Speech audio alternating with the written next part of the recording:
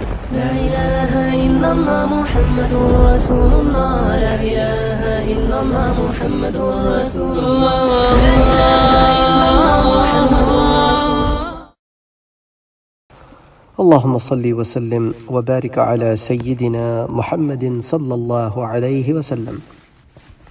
سیرت علی مرتضی رضی اللہ تعالی عنہ میں اب ہم اس مقام پر پہنچے تھے کہ حضرت علی کرم اللہ وجہ اور خوارج۔ ان دونوں کے درمیان کیا معاملات پیش آئے؟ تو پہلے تو یہ سمجھ لیں کہ خارجیوں کے نزدیک حضرت علی کرم اللہ وجہ کا کیا گناہ تھا۔ اس کے اوپر ہم کچھ روشنی تو پہلے ڈال چکے ہیں، لیکن اس کو ذرا تفصیلاً بیان کرتے ہیں کہ جب حضرت علی رضی اللہ تعالیٰ عنہ نے ابو موسیٰ کو فیصلے کے لیے روانہ کرنے کا ارادہ کیا، تو خارجیوں کے دو شخص حضرت علی کے پاس آئے۔ ان میں سے ایک تو زرعہ بن البرج الطائی تھا اور دوسرا جو ہے وہ حرقوس بن زہیر السعدی تھا۔ یہ دونوں لوگ حضرت علی کے پاس پہنچے اور بولے کہ اللہ کے علاوہ کسی کا حکم نہیں ہے۔ لا حکم الا للہ۔ اللہ کے علاوہ کسی کا حکم نہیں ہے۔ اس کے بعد حرقوس نے حضرت علی سے کہا، تو اپنے گناہ سے توبہ کر۔ معاذ اللہ، حضرت علی کرم اللہ وجہ پر گناہ کا الزام لگایا کہ آپ اپنے گناہ سے توبہ کیجیے۔ اور اپنے فیصلے سے رجوع کیجیے اور ہمیں اپنے دشمنوں کے مقابلے میں چل کر ہم ان سے اس وقت تک جنگ کریں گے جب تک خدا کے پاس نہ پہنچ جائیں۔ حضرت علی نے جواب دیا، میرا ارادہ تو یہی تھا، لیکن وہ تم ہی لوگ تھے جنہوں نے میری نافرمانی کی اور ان لوگوں سے معاہدہ کیا جب انہوں نے قرآن اٹھایا۔ میں نے تمہیں بتایا، یہ ان کی ایک جنگی چال ہے، لیکن تم میرے خلاف گئے۔ اس میں مختلف شرائط لگائیں اور اس معاہدے پر ہم نے جب عہد کر لیا تو اب ہم، تم ہم سے کہہ رہے ہو کہ ہم نے غلط کام کیا۔ اور اللہ تعالی ہی فرماتے ہیں کہ اے مومنوں، جب بھی تم اللہ سے عہد کرو تو اسے پورا کرو اور اپنی قسموں کو مضبوط کرنے کے بعد مت توڑنا۔ حالانکہ تم نے اپنے اوپر اللہ کا ذمہ لیا ہے، یقیناً اللہ تعالیٰ تمہارے افعال کو خوب جانتا ہے۔ تو یہ بھی تو قرآن ہی کی آیت ہے۔ وہ اوفو بعہد اللہ یہ بھی تو قرآن ہی نے کہا ہے۔ اس پر حرقوس نے کہا، یہ جنگ بندی کا معاہدہ ایک گناہ تھا۔ اس لیے آپ کو اس گناہ سے توبہ کرنی چاہیے۔ حضرت علی نے فرمایا، یہ گناہ نہیں، بلکہ یہ رائے اور عقل کی کوتاہی ہے۔ اور میں تو تم سے پہلے ہی کہہ چکا تھا کہ جو کچھ اس کا انجام ہوگا، اور میں نے تمہیں اس سے منع بھی کیا تھا۔ مگر تم ہی لوگ اڑے ہوئے تھے، تو تم لوگوں کی جماعت کو انتشار سے بچانے کے لیے میں نے تمہارے سامنے وہی کیا جو تم چاہتے تھے۔ اس پر ذرا بن البرجت تائی نے کہا کہ خدا کی قسم، یا علی، اگر تو اللہ عز و جل کی کتاب میں لوگوں کے فیصلے کو ترک نہ کرے گا، تو میں تجھ سے جنگ کروں گا اور میں تجھ سے اللہ کی رضا کے لیے قتال کروں گا۔ حضرت علی نے فرمایا، تیرا برا ہو تو کتنا بدبخت ہے۔ میری طبیعت یہ چاہتی ہے کہ میں تجھے قتل کر کے چھوڑوں اور اور ہوائیں تجھے الٹ پلٹ کرتی رہیں۔ اس نے جواب دیا، میں تو یہی چاہتا ہوں، کاش ایسا ہوتا۔ حضرت علی نے فرمایا، اگر تو حق پر ہوتا تو موت کے وقت اور دنیا سے جدا ہوتے وقت بھی حق پر ہوتا۔ تم لوگوں کو شیطان نے پاگل بنا دیا ہے۔ تم اللہ سے ڈرو کیونکہ جس بات پر تم جنگ کرنا چاہتے ہو، اس میں تمہارے لیے دنیا میں کوئی بھلائی نہیں ہے۔ اس گفتگو کے بعد یہ دونوں شخص یہ کہتے ہوئے وہاں سے چلے گئے کہ اللہ کے سوا کسی کا حکم نہیں۔ ایک روز حضرت علی خطبہ دینے کے لیے نکلے۔ ابھی وہ خطبہ دے رہے تھے کہ مسجد کے مختلف گوشوں سے اسی قسم کے نعرے بلند ہونے لگے کہ اللہ کے سوا کسی کا حکم نہیں۔ حضرت علی نے فرمایا، اللہ اکبر، یہ ایک حق کلمہ ہے، لیکن اس سے باطل مراد لیا جا رہا ہے۔ اگر یہ خاموش رہیں، تو ہم بھی ان سے درگزر کریں گے۔ اگر یہ کچھ بولیں گے، تو ہم بھی ان سے بحث کریں گے۔ اور اگر یہ ہم سے بغاوت کریں گے، تو ہم ان سے جنگ کریں گے۔ اس پر یزید بن عاصم المحربی کھڑا ہوا اور بولا، تمام تعریفیں اس کے لیے ہیں جو ہمارا رب ہے اور جسے چھوڑا نہیں جا سکتا اور اس سے بے پرواہی نہیں کی جا سکتی۔ اے اللہ، ہم آپ سے ہمارے دین میں کمزوری پیدا کرنے والوں سے پناہ مانگتے ہیں، کیونکہ دین میں کمزوری اللہ کے حکم میں مداحنت ہے اور ایسی ذلت ہے جو اپنے فائل کو اللہ کی نافرمانی تک پہنچا دیتی ہے۔ یا علی، کیا تو ہمیں قتل سے ڈراتا ہے؟ خدا کی قسم، یا علی، میری آرزو تو یہ ہے کہ میں اس بات پر تم لوگوں کو خوب ماروں اور اس میں کسی قسم کی کوتاہی نہ کی جائے اور نہ کسی قسم کا درگزر کیا جائے۔ پھر تم خوب اچھی طرح یہ جان لوگے کہ کون دوزخ میں جانے کا زیادہ مستحق ہے۔ اس کے بعد یہ شخص اور اس کے تین بھائی مسجد سے نکل کر چلے گئے اور نہر پر جا کر خوارج سے مل گئے۔ اس کے بعد ان میں سے ایک شخص نخیلہ میں مارا گیا۔ حضرت علی کرم اللہ وجہ ایک روز خطبہ دینے کے لیے کھڑے ہوئے تو مسجد کے ایک گوشے سے آوازیں اسی طرح بلند ہوئیں جیسا کہ میں نے آپ سے ذکر کیا۔ تو اس زمن میں ایک اور جو روایت آتی ہے وہ اجلح بن عبداللہ اور سلمہ بن کوہیل کی سنت سے آتی ہے۔ وہ کہتے ہیں کہ جب یہ نعرے بلند ہونے شروع ہوئے تو دوسری جانب سے دوسرے شخص بھی کھڑے ہو گئے اور وہ بھی یہی جملے کہنے شروع ہو گئے اور اس کے بعد پے در پے آدمی نعرے لگاتے رہے۔ حضرت علی نے فرمایا، اللہ اکبر، یہ ایک حق کا کلمہ ہے، لیکن اس کلمے کو استعمال کر کے تم باطل کی طرف جا رہے ہو۔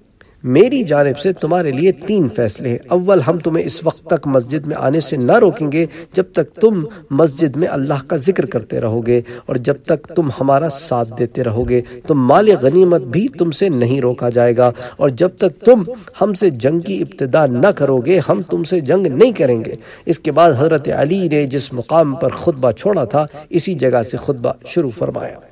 حکیم بن عبد الرحمن بن سعید البکائی خارجیوں کا ہم خیال تھا۔ ایک روز حضرت علی کے پاس آیا۔ حضرت علی خطبہ دے رہے تھے۔ اس نے حضرت علی کو مخاطب کر کے کہا، آپ کی جانب اور آپ سے قبل تمام انبیاء کی جانب یہ وہی کی گئی ہے کہ اگر تو شریک کرے گا تو تیرے اعمال بیکار ہو جائیں گے، نقصان اٹھانے والوں میں تو داخل ہوگا۔ اس کا مقصد بیسکلی یہ تھا کہ تحکیم شرک ہے اور اس لحاظ سے حضرت علی رضی اللہ تعالیٰ عنہ جو ہے وہ شرک کے مرتکب ہوئے ہیں معاذ اللہ اس لیے اس نے یہ جملہ کہا کہ وَلَا تَكُونَنَّ مِنَ الْخَاسِرِينَ۔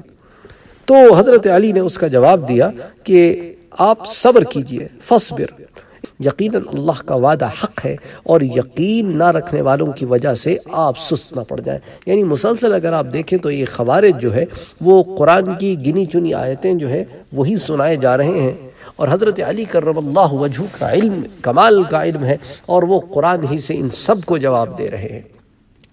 اور اس طرح کے لوگ آج کل بھی پائے جاتے ہیں جو قرآن کو اپنے مفادات میں استعمال کرتے ہیں۔ قرآن کی چند آیتیں انہوں نے یاد کر لی ہیں، بس آپ کو وہی سناتے رہتے ہیں۔ اور اگر آپ اس پر قرآن سنائیں اور ان کے پاس جواب نہ بن پڑے، تو انہی چند آیتوں میں سے ایک آیت پر آپ کو لے جانے کی کوشش کرتے ہیں۔ بہرحال، تو جب واقعہ تحکیم پیش آیا اور حضرت علی صفین سے لوٹے، تو یہ مخالفین بھی آپ کے ساتھ ساتھ تھے۔ جب حضرت علی اور ان کے ساتھی نہر پر پہنچے، تو یہ مخالفین وہیں نہر پر رک گئے۔ حضرت علی اور ان کے ساتھی تو کوفہ چلے گئے۔ ان مخالفین نے حرورہ جا کر قیام کیا، جیسا کہ میں نے آپ سے پہلے عرض کیا۔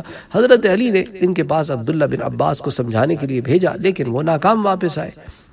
حضرت علی ان کے پاس خود تشریف لے گئے اور ان سے گفتگو فرمائی، حتیٰ کہ آپس میں دونوں میں رضامندی ہو گئی۔ یہ لوگ حضرت علی کے ساتھ کوفے آئے۔ اس کے بعد ایک شخص نے حضرت علی سے آ کر دریافت کیا، یہ لوگ تو یہ کہتے ہیں کہ آپ نے اپنے کفر سے توبہ کر لی ہے۔ حضرت علی نے ظہر کی نماز کے وقت خطبہ دیا۔ اور اس خطبے میں جو ان خارجیوں سے معاملہ پیش آیا تھا، وہ بیان کیا اور ان پر غلط گوئی کا الزام لگایا۔ یہ لوگ مسجد کے مختلف گوشوں میں یہ کہتے ہوئے کہ اللہ کے سوا کوئی حکم نہیں، کھڑے ہو گئے اور ان میں سے ایک شخص آگے بڑھا جو اپنے کانوں میں انگلیاں دیے ہوئے تھا۔ اور آ کہنے لگا کہ آپ کی جانب اور آپ سے پہلے انبیاء کی جانب یہ وہی کی گئی۔ یعنی قرآن پڑھتا ہے کہ وَلَقَدْ أُوحِيَ إِلَيْكَ وَإِلَى الَّذِينَ مِن قَبْلِكَ لَئِن أَشْرَقْتَ اگر تم نے شرک کیا، آپ کی طرف بھی وہی اور آپ سے پہلے انبیاء کی طرف بھی وہی کی گئی ہے کہ اگر تو شریک کرے گا تو تیرے اعمال بیکار۔ لَيَحْبَطَنَّ عَمَلُكَ۔ تیرے اعمال بیکار ہو جائیں گے۔ وَلَتَكُونَنَّ مِنَ الْخَاسِرِينَ۔ اور تو خسارہ اٹھانے والوں میں سے ہو جائے گا۔ یہ قرآن کی آیت پڑھتے ہوئے آیا۔ حضرت علی نے جواب دیا فصبر تو تو, تو صبر کر۔ ان وعد اللہ حق۔ یقینا اللہ کا وعدہ حق ہے۔ فصبر ان وعد اللہ حق۔ تو تو صبر کر۔ یقینا اللہ کا وعدہ حق ہے۔ ولا يستخفنك الذين لا يوقنون۔ اور ان لوگوں کا طرز عمل نہ اختیار کر جو یقین نہیں کرتے۔ کیونکہ یہ تجھے سست بنا دیں گے۔ حضرت علی نے ممبر پر اپنے ہاتھوں کو پلٹ کر فرمایا، اللہ کے حکم کا تمہارے بارے میں دوبارہ انتظار کیا جائے گا۔ میری جانب سے تین فیصلے ہیں۔ ایک تو ہم تمہیں اس مسجد میں نماز پڑھنے سے نہیں روکیں گے۔ دوسرا، جب تک تم ہمارے ساتھ شریک رہو گے، تمہیں مال غنیمت میں حصہ دیں گے۔ اور تیسرا یہ کہ ہم تم سے اس وقت تک جنگ نہیں کریں گے جب تک تم خود جنگ نہ کرو۔ جیسا کہ پہلے میں نے عرض کیا، تو یہ اس معاملے میں ایک اور کچھ تفصیل تھی، اس لیے اس روایت کو بھی میں نے آپ کے سامنے رکھا۔ بہرحال جب حضرت علی نے حضرت ابو موسیٰ کو فیصلے کے لیے بھیجنے کا ارادہ کیا، تو یہ خارجی باہم ایک دوسرے سے ملے اور عبداللہ بن وہب الراسی کے گھر میں جمع ہوئے۔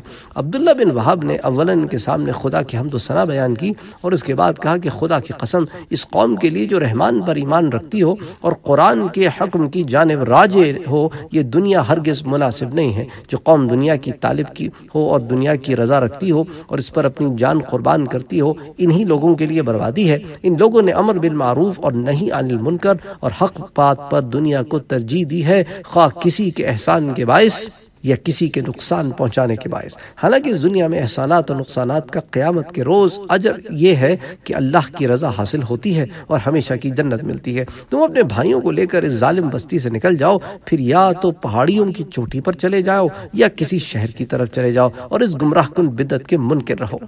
اس کے بعد ہرقوز بن زہیر نے کھڑے ہو کر کہا کہ دنیا کی متا بہت تھوڑی ہے۔ لیکن اس سے جدائی دشوار ہے، تمہیں اس کی زینت و خوبصورتی اپنی جانب مائل نہ کر لے اور تمہیں حق کی طالب اور ظلم کو ختم کرنے سے نہ روک دے کیونکہ اللہ تعالیٰ متقین اور نیک لوگوں کے ساتھ ہے۔ اس پر پھر حمزہ ابن سنان الاسدی کھڑا ہو گیا۔ اس نے کہا، میری قوم، رائے تو وہی ہے جو تمہارے سامنے ہے۔ تم اپنے میں سے کسی شخص کو اپنا امیر بنا لو، کیونکہ یہ ضروری ہے کہ تمہارا ایک امیر اور ایک مرکز ہو اور تمہارا اپنا جھنڈا ہو، جس کے نیچے تم جمع ہو سکو۔ ان لوگوں نے زید بن حسین الطائی کو اپنا امیر بنانا چاہا، اس نے انکار کر دیا۔ پھر لوگوں نے حرقوس بن زہیر کو مجبور کیا، اس نے بھی انکار کر دیا۔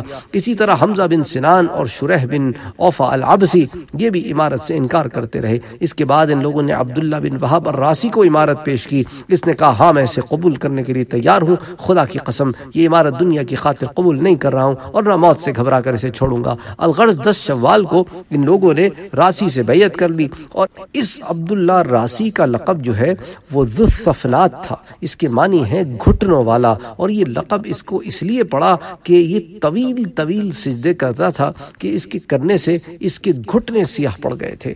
اس کے بعد یہ لوگ شرح بن اوفا العبسی کے گھر جمع ہوئے۔ ابن وہاب نے ان لوگوں سے کہا کہ کوئی شہر ایسا بتاؤ جہاں ہم جمع ہو کر اللہ کے حکم کو نافذ کر سکیں۔ کیونکہ تم اہل حق ہو۔ شرح نے رائے دی، کیوں نہ ہم مدائن چلے اور وہاں چل کر قبضہ کر لے اور وہاں کے باشندوں کو وہاں سے نکال دیں اور پھر بسرے سے اپنے بھائیوں کو بلا لیں۔ اس پر زید بن حسین التائی نے کہا کہ اگر تم مجتمع طور پر یہاں سے نکلے تو تمہارا پیچھا کیا جائے گا۔ اس لیے کہ ایک ایک کر کے اور چھپ کر تمہیں جانا ہوگا۔ اسی طرح مدائن میں ایسے لوگ موجود ہیں جو تمہاری راہ روکیں گے، بلکہ تم نہروان کے پل پر جا کر ٹھہر جاؤ اور اپنے بسرا کے بھائیوں سے خط و کتابت کرو۔ اس رائے پر سب نے متفق کیا، اتفاق کیا اور پھر اسی کو صحیح رائے قرار دی گئی۔ عبداللہ بن وہاب نے بسرے کے خارجیوں کو خط تحریر کیا۔ جس میں انہیں اپنے اجتماع سے اس نے آگاہ کیا اور انہیں اپنے ساتھ شمولیت کی دعوت دی اور یہ خط ان کے پاس روانہ کیا۔ انہوں نے جواب دیا کہ انقریب وہ بھی ان کے ساتھ آ کر مل جائیں گے۔ انہوں نے جب کوچ کا ارادہ کیا تو تمام رات عبادت میں مشغول رہے اور یہ جمعے کی شب تھی۔ انہوں نے جمعے بھی عبادت میں گزارا اور ہفتے کے روز انہوں نے کوچ کیا۔ شرح بن اوفا العبسی نے کوفہ چھوڑتے وقت کلام اللہ کی آیت تلاوت کی کہ وہ اس جگہ سے ڈرتے ہوئے اور پناہ لیتے ہوئے نکلے اور فرمایا، اے میرے پروردگار مجھے ظالم قوم سے نجات دے۔ جب وہ مدین کی جانب متوجہ ہوئے تو کہا، امید ہے کہ میرا پروردگار مجھے سیدھے راستے پر چلائے گا۔ تو اس سے آپ کو اندازہ ہوگا کہ یہ قرآن کی کس قدر پڑھنے والے تھے اور قرآن ان کو کس قدر ازبر تھا۔ اور حضور اکرم صلی اللہ علیہ وآلہ وسلم کی حدیث بھی انہی لوگوں پر یوں تھی جیسا کہ خوارج کے ضمن میں میں نے چند احادیث آپ کے سامنے پیش کی۔ انشاءاللہ زندگی رہی تو ان احادیث کے سلسلے کو جاری رکھیں کہ تین دروس اس ضمن میں آئے ہیں کہ ان کا حال تو یہ ہوگا، آپ نے صحابہ سے فرمایا، اس کا میں آپ کو لفظاً تو نہیں بتا رہا ہوں، مفہوماً بیان کر رہا ہوں کہ صحابہ سے کہا کہ جب تم ان کو دیکھو گے تو ان کی عبادتیں اتنی کثیر ہوں گی کہ تم ان کی عبادتوں پہ رشک کرو گے کون صحابہ سے کہا حضور نے؟ اور ان کی عبادتوں کا حال یہ ہوگا کہ ان کی تمام محنتیں اور تمام ریاضتیں قبول نہیں ہوں گی۔ اسی طرح ہوگا جس طرح کہ ایک تیر چلا اور جانور کے آر پار ہو گیا۔ تو اسی طرح یہ دین سے آر پار ہو جائیں گے اور ان کی کوئی چیز قبول نہیں کی جائے گی۔ یہ اسی طرح اسلام سے خارج ہے جیسے تیر کبان سے اور جانور سے آر پار ہو جاتا ہے۔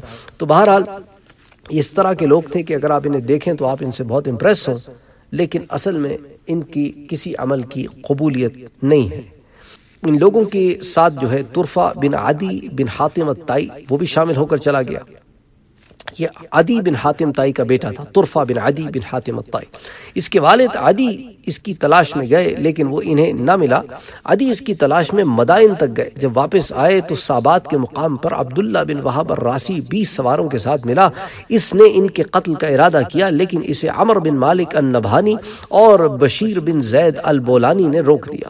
عدی نے یہاں سے نکل کر سعد بن مسعود کے پاس جو حضرت علی کی جانب سے مدائن کا عامل تھا پیغام بھیجا اور اسے ان خارجیوں سے ڈرایا اور اس نے ڈر کر شہر کے دروازے بند کر دیے اور خود کچھ سوار لے کر ان کی تلاش میں نکلا اور اپنی جگہ اپنے بھتیجے مختار بن ابی عبید کو متعین کیا۔ عبداللہ بن وہب کو اس کی خبر ہو گئی، اس نے راہ بدل کر بغداد کا رخ کیا۔ لیکن مقام کرخ پر سعد بن مسعود نے پانچ سو سواروں کے ساتھ اسے جا لیا۔ عبداللہ بن وحب نے تیس سواروں کے ساتھ کچھ دیر اس کا مقابلہ کیا، لیکن اس کی جماعت کے کچھ لوگوں نے اسے جنگ کرنے سے منع کیا۔ ادھر سعد بن مسعود کے ساتھیوں نے سعد سے کہا کہ تمہارے ان لوگوں سے جنگ سے کیا واسطہ؟ اس لیے کہ ان سے جنگ کرنے کا تمہیں کوئی حکم نہیں ملا۔ تو ان کی راہ چھوڑ دے تاکہ یہ چلے جائیں۔ اور یہ تمام حالات امیر المؤمنین کو تحریر کر۔ اگر وہ پیچھا کرنے کا حکم دے تو ان کا پیچھا کر، اور اگر تیرے علاوہ کسی اور شخص کو اس کام کے لیے معین کریں تو اس میں تیری عافیت ہے۔ سعد نے ان کی بات ماننے سے انکار کر دیا۔ جب رات کی خوب تاریخی چھا گئی تو عبداللہ بن وحب نے جو خیق کی طرف سے دریائے دجلہ کو عبور کر کیا اور نہروان پہنچ کر اپنے ساتھیوں سے مل گیا، وہ اس کی زندگی سے مایوس ہو چکے تھے اور کہہ رہے تھے کہ اگر عبداللہ ہلاک ہو گیا تو ہم زید بن حسین یا ہرقوس بن زہیر کو اپنا امیر بنا لیں گے۔ کوفے کی ایک جماعت بھی خارجیوں کے ساتھ دینے کے لیے کوفے سے نکلی، لیکن انہیں ان کے رشتہ دار زبردستی کوفے لے آئے۔ ان لوگوں میں قاقا بن قیس التائی، جو ترمح بن حکیم کا چاچا تھا، وہ بھی تھا۔ اور عبداللہ بن حکیم بن عبد الرحمن بن البکائی، یہ بھی شامل تھے۔ حضرت علی کو اطلاع ملی کہ سالم بن ربیع العبسی بھی خارجیوں کے پاس جانے کا ارادہ کر رہا ہے۔ جو حضرت علی اس کے پاس گئے اور اس سے اسے اس کام سے روکا جس پر اس نے اپنا ارادہ ملتوی کر دیا۔ جب خارجی کوفے سے نکل گئے تو حضرت علی کے باقی ساتھیوں نے حضرت علی کی خدمت میں حاضر ہو کر دوبارہ بیعت کی اور کہا، ہم اس شرط پر بیعت کرتے ہیں کہ جسے آپ دوست رکھیں گے، ہم بھی اسے دوست رکھیں گے اور جسے آپ دشمن رکھیں گے، اسے ہم بھی دشمن رکھیں گے۔ اس بات کو بھی بڑی تفصیل میں آپ سے پچھلے دروس میں بیان کر چکا ہوں اور اس بیعت پہ بھی خارجیوں نے اعتراض کیا۔ حضرت علی نے ان سے سنت رسول اللہ صلی اللہ علیہ وسلم پر چلنے کی شرط لگائی۔ جب یہ بیعت ہو رہی تھی تو ربیعہ بن ابی شداد نے بھی بیعت، وہ بھی بیعت کے لیے آ گیا۔ حضرت علی نے اس سے فرمایا کہ آ مجھ سے کتاب اللہ اور سنت رسول اللہ کی پیروی پر بیعت کر۔ اس نے جواب دیا کہ ابو بکر اور عمر کی سنت پر بھی بیعت دیجیے حضرت علی نے فرمایا، تجھ پر افسوس ہے، کیا تو نے اتنی بات بھی نہیں سمجھ سکتا کہ اگر ابو بکر اور عمر نے کوئی ایسا کام کیا ہو جو کتاب اللہ اور سنت رسول اللہ سے ثابت نہ ہو، تو اس صورت میں وہ ہرگز حق پر نہ تھے۔ اور اگر ان دونوں نے کتاب کتاب اللہ اور سنت رسول اللہ پر عمل کیا تو ان کا عمل کتاب اللہ اور سنت رسول اللہ صلی اللہ علیہ وسلم سے خارج نہیں ہے۔ اس پر ربیہ نے حضرت علی کی بیعت کر لی۔ حضرت علی نے ربیہ کو غور سے دیکھا اور فرمایا کہ خدا کی قسم، مجھے تو یہ نظر آ رہا ہے کہ ان قریب تو ان خارجیوں کے ساتھ مل جائے گا اور قتل ہوگا۔ اور میں تو یہ دیکھ رہا ہوں کہ تجھے گھوڑے اپنے کھروں سے رون دیں گے۔ ربیہ نہروان کی جنگ میں بسرا کے خارجیوں کے ساتھ قتل ہوا۔ یہ حضرت علی کرم اللہ وجہ کی ایک کرامت ہے کہ آپ نے اللہ عز و جل کے رحم و کرم سے اس کو ایک ایسی بات بتائی جو آنے والے وقت میں اس کے ساتھ پھر وہی ہوا۔ بہرحال بسرا میں جو خارجی تھے وہ سب ایک ہوئے۔ ان کی تعداد تقریباً پانچ سو تھی۔ انہوں نے مسار بن فداکی التمیمی کو اپنا امیر بنایا۔ ان کے اس اجتماع میں وہ فرار کا جب حضرت عبداللہ ابن عباس کو علم ہوا تو انہوں نے ابو الاسود الدولی کو ان کے تعقب میں روانہ کیا۔ حتیٰ کہ ابو الاسود نے بڑے پل پر ان کو جا لیا۔ اور یہ دونوں اسی پل پر ٹھہر گئے۔ جب رات ہوئی اور خوب تاریکی چھا گئی تو مسار تاریکی میں اپنے ساتھیوں کو لے کر چلا اور خاموشی سے نکل کر نہر پر عبداللہ بن وحب بن راسی کے پاس پہنچ گیا۔ اس وقت اس کے مقدمت الجیس پر اشرس بن عوف الشیبانی متعین تھا۔ واقع تحکیم کے بعد جب خارجی حضرت علی کا ساتھ چھوڑ کر چلے گئے اور ابو موسیٰ عشری شامیوں کے خوف سے بھاگ کر مکے چلے گئے اور عبداللہ بن عباس بسرے واپس چلے گئے، تو حضرت علی نے اہل کوفہ کو جمع کر کے انہیں خطبہ دیا اور فرمایا کہ اگرچہ زمانہ بڑے بڑے مسائب اور نئے نئے حادثات لے کر آیا ہے، لیکن ہر صورت میں تمام تعریفیں اللہ کے لیے ہیں اور میں گواہی دیتا ہوں کہ اللہ کے علاوہ کوئی عبادت کے لائق نہیں اور محمد اللہ، رسول اللہ صلی اللہ علیہ وسلم اللہ کے رسول ہیں۔ یاد رکھو نا فرمانی حضرت کا باعث ہوتی ہے اور بعد میں ندامت کا سبب بنتی ہے۔ میں نے ان دونوں سالسوں اور اس کے فیصلے کے معاملے میں بہت سوچ کر تمہیں اپنی رائے سے مطلع کر دیا تھا۔ کاش تم میری رائے مان لیتے، لیکن تم نے میری رائے قبول کرنے سے انکار کر دیا۔ خبردار، تم لوگوں نے جن حکموں کو کا انتخاب کیا تھا، ان دونوں نے قرآن کے حکم کو پس پش ڈال دیا اور قرآن نے جن امور کو ختم کیا تھا، انہوں نے انہیں دوبارہ زندہ کر دیا اور دونوں نے اللہ کی ہدایت کو چھوڑ کر صرف اپنی خواہشات کی پیروی کی۔ انہوں نے کسی دلیل اور گزشتہ سنت کے بغیر فیصلہ کیا، پھر اس فیصلے میں دونوں مختلف رہے اور کوئی صحیح فیصلہ نہ کر سکے۔ تو اللہ اور اس کے رسول اور مسلمانوں میں سے نیک لوگ ان دونوں کے فیصلے سے بری ذمہ ہیں، اس لیے تم تیار ہو جاؤ اور شام چلنے کی تیاری کرو اور دو شمبے کے روز تم سب لشکر میں پہنچ جاؤ۔ انشاءاللہ اس خطبے کے بعد حضرت علی کرم اللہ وجہ ممبر سے نیچے اتر آئے۔ حضرت علی نے ایک خط خارجیوں کے نام لکھ کر نہروان روانہ کیا۔ اس خط میں آپ نے لکھا کہ یہ خط اللہ کے بندے امیر المومنین کی جانب سے زید بن حسین، عبداللہ بن وحب اور ان لوگوں کے نام ہے جو ان دونوں کے ساتھ شریک ہے ان دونوں حکمین نے جن کے فیصلے کو ہم نے قبول کیا تھا، کتاب اللہ کی مخالفت کی اور ہدایات خداوندی کے بغیر فیصلہ کر کے اپنی خواہشات کی پیروی کی۔ نہ تو ان دونوں نے سنت پر عمل کیا اور نہ حکم قرآنی کو نافذ کیا۔ اس لیے اللہ اور اس کا رسول اور مومنین ان دونوں کے فیصلے سے بری و ذمہ ہیں۔ جب تمہارے پاس میرا یہ خط پہنچے تو اسے قبول کرو، کیونکہ ہم اپنے اور تمہارے دشمنوں پر حملے کے لیے کوچ کر رہے ہیں۔ اور اب ہمارا وہی فیصلہ ہے جو پہلے تھا۔ والسلام۔ خارجیوں کو جب خط ملا تو انہوں نے خارجیوں نے حضرت علی کو خط کا جواب لکھا۔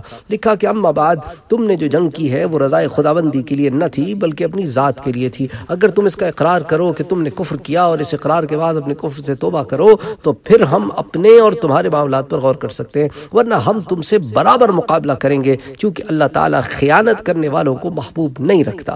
جب حضرت علی نے ان کا خط پڑھا تو ان کی حمایت سے مایوس ہو کر یہ رائے قائم کی تھی کہ انہیں ان کے حال پر چھوڑ دیا جائے اور لشکر لے کر شامیوں کے مقابلے پر جایا جائے اور ان سے جنگ کی جائے۔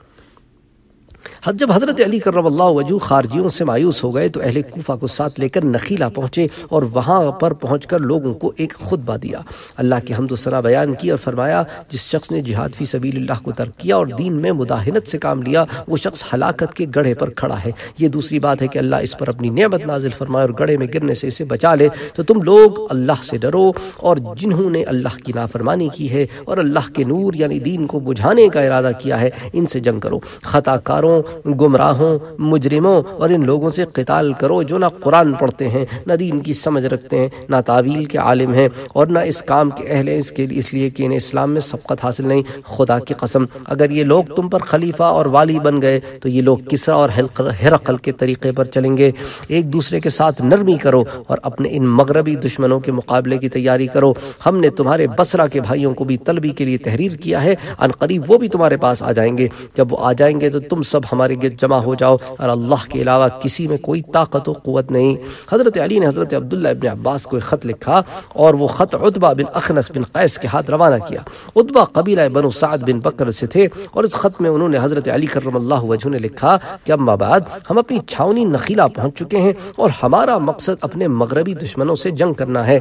میرا قاصد پہنچتے ہی لوگوں کو جنگ کے لیے تیار کرو اور میرا خط ملتے ہی فوراً کوچ کے لیے تیار ہو جاؤ۔ ادھر پھر حضرت عبداللہ ابن عباس کو جب یہ خط ملا تو انہوں نے یہ خط پڑھ لوگوں کو پڑھ کر سنایا اور انہیں حکم دیا کہ وہ احنف ابن قیس کے ساتھ جنگ کے لیے روانہ ہو جائیں۔ ان کے اس حکم پر احنف کے ساتھ چلنے کے لیے صرف ڈیڑھ ہزار آدمی جمع ہوئے۔ حضرت عبداللہ بن عباس نے اس لشکر کو بہت کم سمجھا اور لوگوں میں تقریر فرمائی۔ اللہ کی حمد و ثنا بیان کی اور کہا کہ اے اہل بصرہ، میرے پاس امیر المومنین کا حکم آیا کہ تمہیں جنگ پر جانے کا حکم دوں۔ میں نے احنف ابن قیس کے ساتھ تمہیں جانے کا حکم دیا، لیکن اس حکم پر صرف ڈیڑھ ہزار آدمی احنف کے ساتھ گئے۔ حالانکہ بچوں، غلاموں اور اور مولا کے علاوہ تمہاری تعداد ساٹھ ہزار ہے۔ خبردار تم فوراً جاریت بن قدامہ السعدی کے ساتھ اخنف کے احنف ابن قیس کے پیچھے پیچھے چلو۔ اور کوئی شخص جنگ سے گریزی کی کوشش نہ کرے، میں بھی ان لوگوں کے ساتھ جو میرے ساتھ چلنا چاہیں گے، جلد ہی وہاں پہنچوں گا۔ جو ان کی تحریر سے اختلاف رکھتا ہو یا اپنے امام کا نافرمان ہو، میں نے ابو الاسود الدولی کو تم لوگوں کے جمع کرنے کا حکم دیا ہے۔ اب کوئی شخص اپنے علاوہ کسی دوسرے کو ملامت نہ کرے۔ جاریہ رضی اللہ تعالیٰ عنہ نے شہر سے نکل کر لشکر گاہ میں قیام کیا اور ابو الاسود نے لوگوں کو جمع کرنا شروع کیا۔ اس طرح جاریہ کے پاس سترہ سو آدمی جمع ہوئے۔ جاریہ انہیں لے کر حضرت علی کی طرف نخیلہ پہنچے۔ حضرت علی پسرا کے لشکر کے انتظار میں نخیلہ میں قیام پذیر تھے، حتیٰ کہ یہ دونوں لشکر نخیلہ پہنچ گئے۔ ان کی کل تعداد تین ہزار دو سو تھی۔ جب اہل بسرا نخیلہ پہنچ گئے تو حضرت علی نے کوفے کے تمام سرداروں روسا اور قبائل کے تمام سرداروں کو جمع فرمایا اور اس کے بعد اللہ کی حمد الصلاح بیان فرما کے پھر ان سے فرمایا کہ اہل کوفہ، تم میرے بھائی، میرے مددگار، حق پر میرے مددگار ہو اور میں ان دشمنوں کے مقابلے میں جو تم سے جنگ آزما ہے، میرے ساتھی ہو تم، میں پیچھے رہنے والوں کو سزا دوں گا، مجھے آنے والوں سے پوری اطاعت کی امید ہے، میں نے اہل بسرا کے پاس آدمی بھیجا تاکہ وہ تمہاری مدد کے لیے آئے مگر وہاں سے صرف تین ہزار دو سو آدمی آئے۔ تم ان لوگوں کو نصیحت کر کے جو کینہ پروری سے پاک ہو میری مدد کرو اور انہیں ساتھ چلنے پر راضی کرو۔ وہاں ہم صفین جانے کا ارادہ رکھتے ہیں، تو تم لوگ اپنے آدمیوں کو جمع کرو۔ میرا سوال یہ ہے کہ تم میں سے ہر وہ شخص جو کسی قبیلے کا رئیس ہو، اپنے اہل قبیلہ کو لکھے کہ جتنے لوگ بھی جنگ میں شامل ہو سکتے ہوں، وہ جلد از جلد یہاں پہنچے۔ اس پر سعد بن قیس الحمدانی نے کھڑے ہو کر کہا کہ یا امیر المومنین، ہم آپ کا حکم سننے اور اطاعت کے لیے تیار ہیں اور ہر قسم کی دوستی اور ساتھ دینے کے لیے آمادہ ہیں۔ میں سب سے پہلے آپ کی خواہش کو پورا کروں گا۔ سعد کے بعد موقل بن قیس الریاحی نے بھی کھڑے ہو کر یہی عرض کیا۔ پھر عدی بن حاتم، پھر زیاد بن خصفہ، اسی طرح حجر بن عدی اور مختلف قبائل کے جو شرفاء اور سردار تھے وہ کھڑے ہو گئے۔ حضرت علی کو ہر قسم کی امداد کا یقین دلاتے رہے۔ اس تحریک پر ان روسا نے اپنے اپنے قبیلے والوں کو خط تحریر کیے کہ وہ اپنی اولاد، اپنے غلاموں، اپنے موالیوں کو لے کر فوراً حاضر ہوں اور کوئی شخص بھی پیچھے نہ رہے۔ یہ سب لوگ حاضر خدمت ہوئے۔ ان میں چالیس ہزار جنگجو تھے، سترہ ہزار لڑاکے تھے جو جنگ کے قابل ہو چکے تھے اور آٹھ ہزار غلام اور مولا تھے۔ اور سب نے آ کر عرض کیا کہ یا امیر المومنین ہمارے پاس جتنے بھی جنگ کے قابل افراد تھے اسی ہم انہیں لے کر یہاں حاضر ہو گئے اور جو ہمارے ساتھ ہیں وہ سب جنگ کی قوت رکھتے ہیں، ہم ان میں سے ہر شخص کو لے کر آپ کے پاس حاضر ہوئے ہیں۔ اس طرح عرب کوفیوں کی تعداد ستاون ہزار تھی اور ان کے غلاموں اور موالیوں کی تعداد آٹھ ہزار اور کل اہل کوفہ کا لشکر پینسٹھ ہزار اور بسرے کے تین ہزار دو سو افراد۔ اس طرح یہ تمام لشکر جو ہے وہ اڑسٹھ ہزار پر مشتمل تھا۔ تو بہت بڑا لشکر حضرت علی کرب اللہ وجہ کے ساتھ جمع ہو گیا۔ حضرت علی نے سعد بن مسعود ثقفی کو جو مدائن کے عامل تھے تحریر کیا، اما بعد میں تمہارے پاس زیاد بن خصفہ کو روانہ کر رہا ہوں۔ تم ان کے ساتھ اہل کوفہ کے جنگجو لوگ فوراً روانہ کرو اور اس میں کچھ تاخیر نہ کرو۔ انشاءاللہ ولا قوت الا باللہ۔ انشاءاللہ تعالی، پھر اس درس کو کی مزید تفصیلات جو ہے ضمن میں جو آتی ہیں، وہ ہم اگلے درس میں آپ کے سامنے پیش کریں گے۔ وما علینا الا البلاغ۔ ہمارے چینل کو سبسکرائب کرنا نہ بھولیں اور بیل کے آئیکن پر کلک کریں تاکہ آپ کو ریگولر نوٹیفیکیشن اپڈیٹس مل سکیں۔